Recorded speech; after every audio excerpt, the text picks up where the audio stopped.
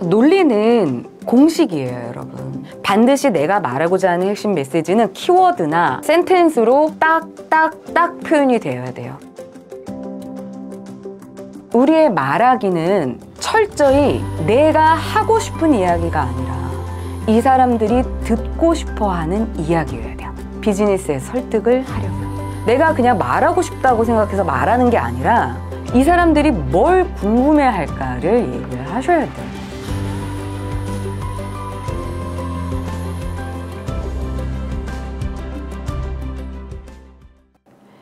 스피치를 할 때 상대가 그러니까 이야기를 듣는 사람들이 어떻게 해야 잘 알아듣기 쉽게 어, 받아들일 수 있을까를 고민해서 나온 게 논리에 대한 공식이에요. 첫 번째, 내가 말하고자 하는 핵심 메시지를 앞으로 보내고요. 그거에 맞는 근거를 어, 챙겨서 말하시면 돼요.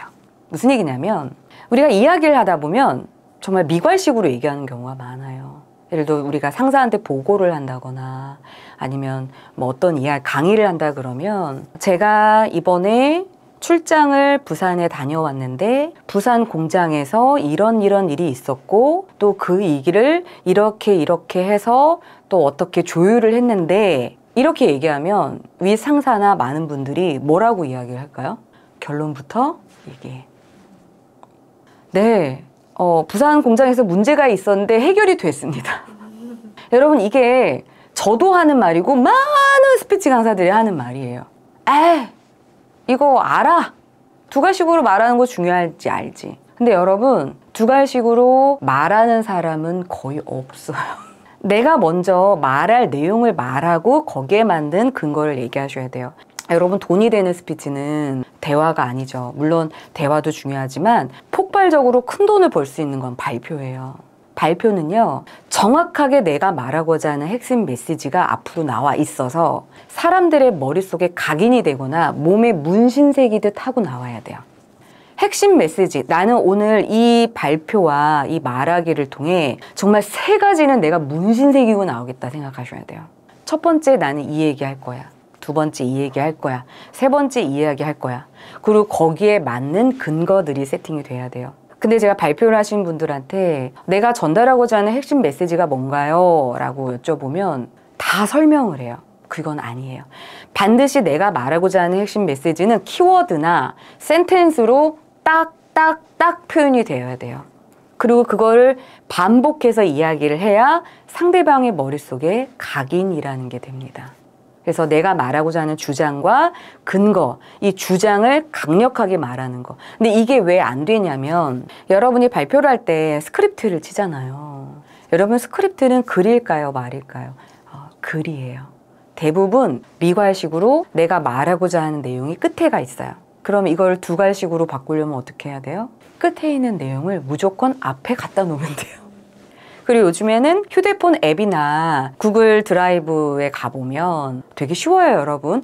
음성을 텍스트로 변환해 주는 게 있어요. 스크립트를 칠 때 글을 쓰지 마시고요. 말로 녹음을 하세요. 그리고 그거를 스크립트로 변환한 걸 보면 내 말에 필요 없는 말들, 반복한 거, 그리고 주장이 뒤에 가 있는 거, 이거 다 시각적으로 볼 수 있습니다. 그래서 어, 논리적으로 말하는 건 주장을 먼저 얘기하고 그 다음 근거를 이야기하는 거. 어, 그 다음에 두 번째는 이야기를 할 때 너무 문장 성분을 길게 가져가지 않는 거예요. 그래서 뭐뭐 해서 뭐뭐 했지만 뭐뭐 했음에도 불구하고 뭐뭐 했습니다가 아니라 저 뭐뭐 했어요. 그러니까 쇼핑 호스트들이 예를 들어 커피 같은 거 할 때 뭐 안녕하세요 어디 어디에 굉장히 유명한 맛집으로 유명한 뭐 커피숍인데 여기에서 원두는 이걸 쓰고 뭐 이렇게 얘기 안 하잖아요. 자 오늘 커피 소개해 드릴게요. 정말 유명한 커피 전문점입니다. 누구나 이 커피를 마시면 반할 수밖에 없어요. 원두 최고입니다. 이렇게 얘기해요. 그래서 문장의 성분을 주어 서술어 아니면 주어 목적어 서술어 접속사를 넣어서 막 연결 어미를 넣어서 이렇게 막 하는 것이 아니라 문장을 짧게 하면 발음도 좋아지고 호흡도 좋아질 수 있어요. 음.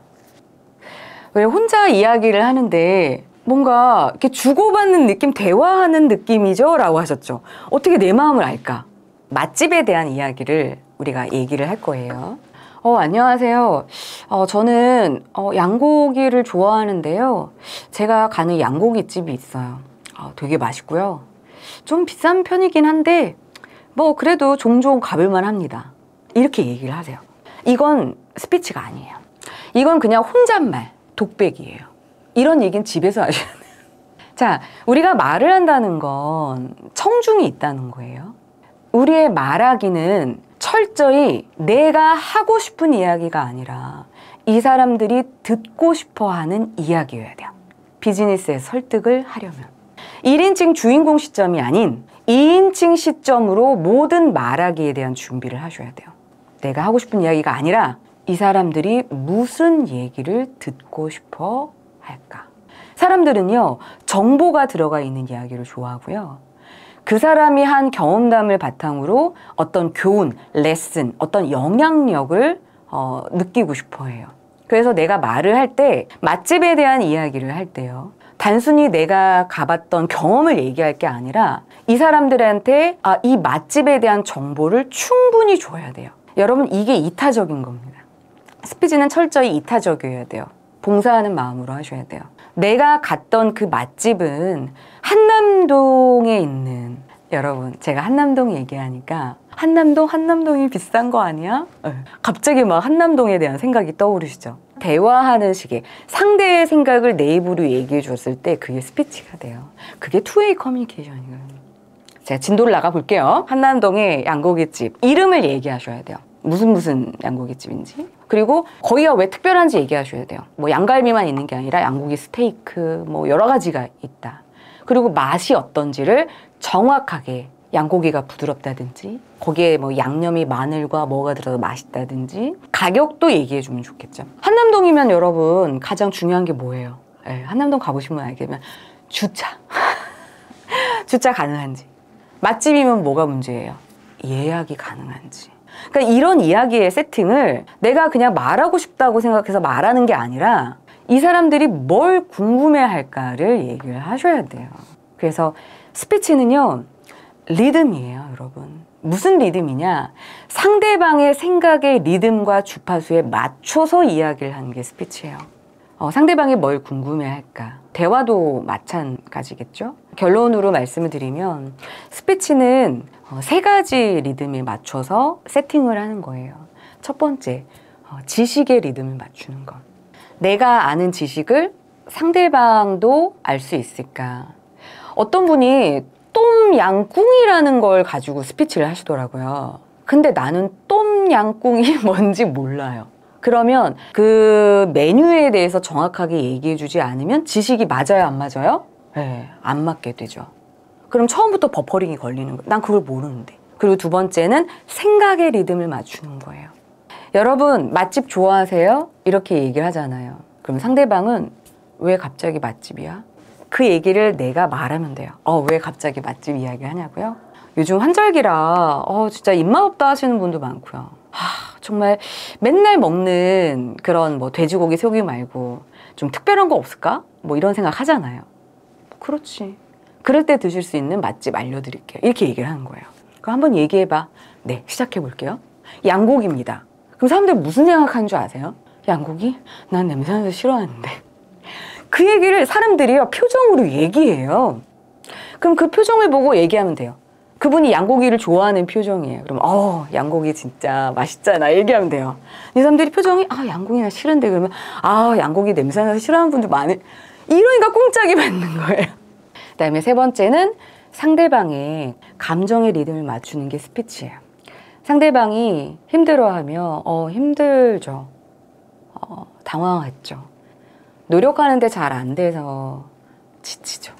이런 이렇게 감정의 리듬을 맞추면 훨씬 더 그 사람을 설득할 수 있거든요. 그래서 저는 이 세 가지의 리듬을 맞추는 작업을 매일매일 하고 있습니다. 근데 저도 못 맞출 때가 있어요. 언제냐고요? 제 마음에 여유가 없을 때. 그 스피치를 자기 개발하려고 배우는 사람은 한 명도 없어요. 스피치는 money. 이 입찰 PT에 성공하지 않으면 우리 회사는 회생이 불가능한 거예요. 그리고 내가 세일즈를 하는데 내가 영업 skill이 없어요. 그럼 우리 가족은 어떻게 되는 거예요? 면접을 봐서 합격을 해야 부모님에게 효도도 하고 정말 더 나은 나를 만날 수 있는 거잖아요.